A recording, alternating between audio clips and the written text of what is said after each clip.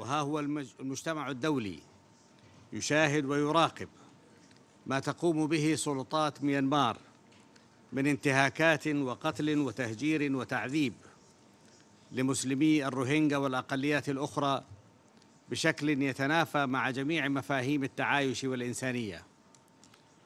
ونتيجة لاستمرار هذه الانتهاكات من سلطات ميانمار فلقد دأبت المملكة العربية السعودية مع منظمة التعاون الإسلامي والاتحاد الأوروبي على تقديم هذا القرار الذي يلقى تأييدا واسعا من قبل الدول الأعضاء.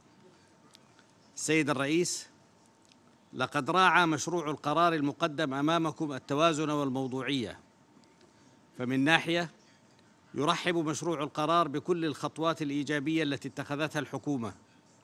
ومن ناحية أخرى يتمسك مشروع القرار بضرورة التوصل إلى حل حاسم لمأساة المسلمين الروهينجا حل يشتمل على الاعتراف بحقهم في المواطنة والعودة والحياة الكريمة.